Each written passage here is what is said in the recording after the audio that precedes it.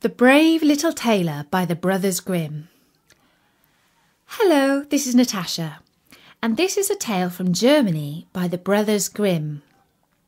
It's about a tailor who was as clever as he was brave. One summer's morning, a little tailor was sitting on his table by the window. He was in good spirits and sewed with all his might. Then came a peasant woman down the street crying, Good jams cheap, good jams cheap.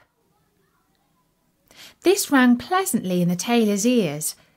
He stretched his delicate head out of the window and called, Come up here, dear woman. Here you will get rid of your goods. The woman came up the three steps to the tailor with her heavy basket, and he made her unpack all the pots for him. He inspected each one, lifted it up, put his nose to it, and at length said, The jam seems to me to be good. I'll buy a jar. The woman, who had hoped to sell far more jam, gave him what he wanted, but went away grumbling. Now this jam shall be blessed by God, cried the little tailor, and give me health and strength. So he brought the bread out of the cupboard, cut himself a piece right across the loaf, and spread the jam over it. This won't taste bitter, said he, but I will just finish the jacket before I take a bite. He laid the bread near him, sewed on, and in his joy made bigger and bigger stitches. In the meantime, the smell of the sweet jam rose to where the flies were sitting in great numbers, and they were attracted and descended on to it in hosts. Hey, who invited you? said the little tailor, and drove the unbidden guests away. The flies, however, understood no German, and came back again in ever increasing companies. The little tailor at last lost all patience, and drew a piece of cloth from the hole under his work table, and saying, Wait, and I will give it to you, struck it mercilessly on them. When he drew it away and counted, there lay before him no fewer than seven flies, dead and with legs stretched out. The tailor looked at the flies that he had killed and could not help admiring his own bravery. The whole town shall know of this, he said and the little tailor hastened to cut himself a belt, stitched it, and embroidered on it in large letters Seven dead at one stroke. What the town! The whole world shall hear of this! he exclaimed. And his heart wagged with joy like a lamb's tail the tailor put on the girdle and resolved to go forth into the world because he thought his workshop was too small for his valour. Before he went away, he looked round the house to see if there was anything which he could take with him. However, he found nothing but an old cheese, and that he put in his pocket. In front of the door, he observed a bird which had caught itself in the thicket. It had to go in his pocket with the cheese. Now he took to the road boldly, and as he was light and nimble, he felt no tiredness. The road led him up a mountain, and when he had reached the highest point of it, there sat a powerful giant looking peacefully about him. The little tailor went bravely up, spoke to him, and said, Good day, comrade. So you are sitting there overlooking the wide spread world. I am just on my way there and want to try my luck.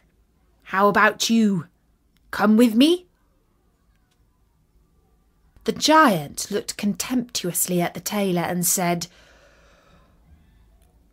You wretch! You miserable creature! Oh, indeed, answered the little tailor, and unbuttoned his coat and showed the giant the belt. There may you read what kind of a man I am. The giant read, Seven dead at one stroke, and thought that they had been men whom the tailor had killed and began to feel a little respect for the tiny fellow. Nevertheless, he wished to try him first, and took a stone in his hand and squeezed it together so that the liquid dropped out of it. Do that, said the giant, if you have strength. Is that all? said the tailor. That is child's play. And put his hand into his pocket, brought out the soft cheese, and pressed it until the liquid ran out of it. The giant did not know what to say, and could not believe it of the little man. Then the giant picked up a stone and threw it so high that the eye could scarcely follow it. Now, little mite of a man, do that. Well thrown, said the tailor. But after all, the stone came down to earth again. I will throw you one which shall never come back at all. And he put his hand into his pocket, took out the bird, and threw it into the air. The bird, delighted with its liberty, rose, flew away, and did not come back. How does that shot please you, comrade? Asked the tailor. You can certainly throw, said the giant.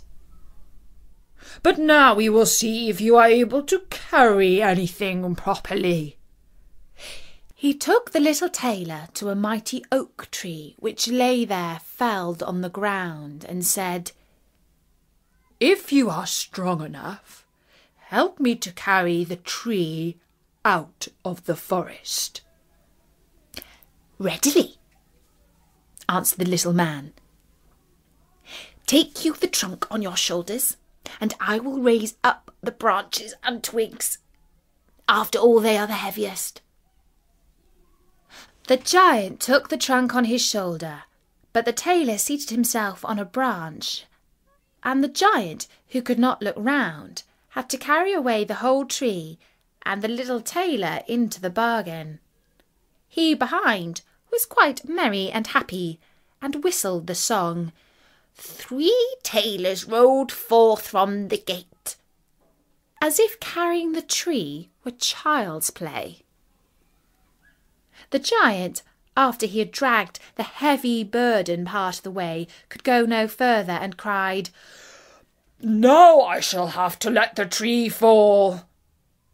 The tailor sprang nimbly down, seized the tree with both arms as if he had been carrying it, and said to the giant, You are such a great fellow, and yet cannot even carry the tree. The giant said, if you are such a brave fellow, come with me into the cave and spend the night with us. The little tailor was willing and followed him. When they went into the cave, other giants were sitting there by the fire, and each of them had a roasted sheep in his hand and was eating it. The little tailor looked round and thought, it is much more spacious here than in my workshop. The giant showed him a bed and said he was to lie down in it and sleep. The bed, however, was too big for the little tailor. He did not lie down in it, but crept into a corner.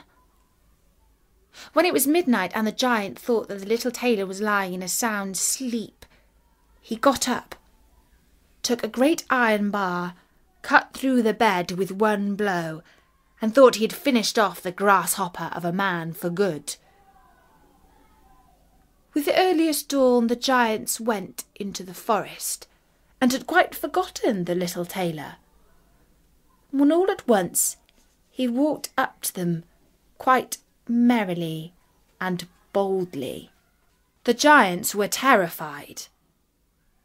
They were afraid that he would strike them all dead, and ran away in a great hurry. The little tailor went onwards, always following his pointed nose.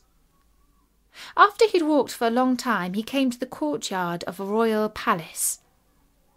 And as he felt weary, he lay down on the grass and fell asleep.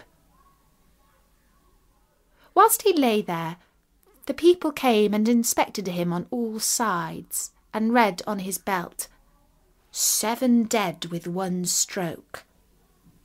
Ah, they said, does the great warrior want here in the midst of peace? He must be a mighty lord. Soon the tailor was brought before the king, who had made a request to meet him. In the forest roams a magical horse with one horn, a unicorn which does great harm, attacking people all round.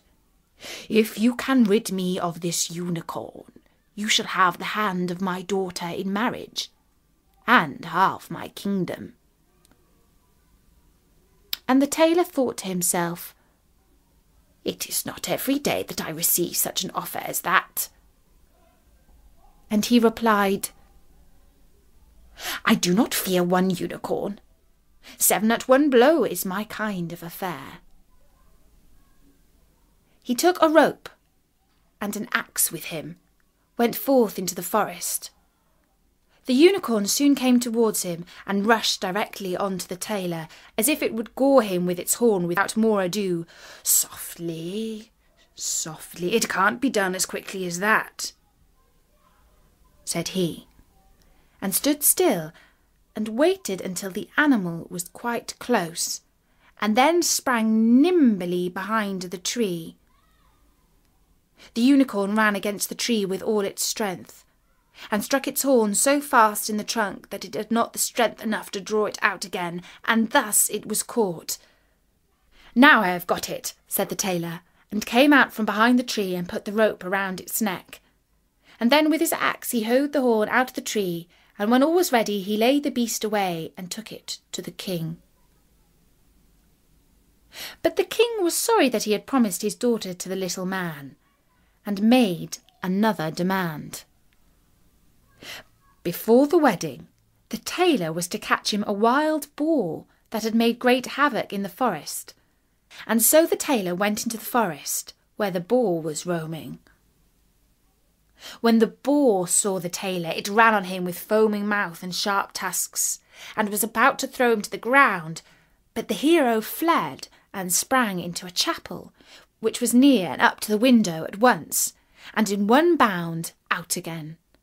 The boar ran after him, but the tailor ran outside and shut the door behind it, and then the raging beast, which was much too heavy and awkward to leap out of the window, was caught.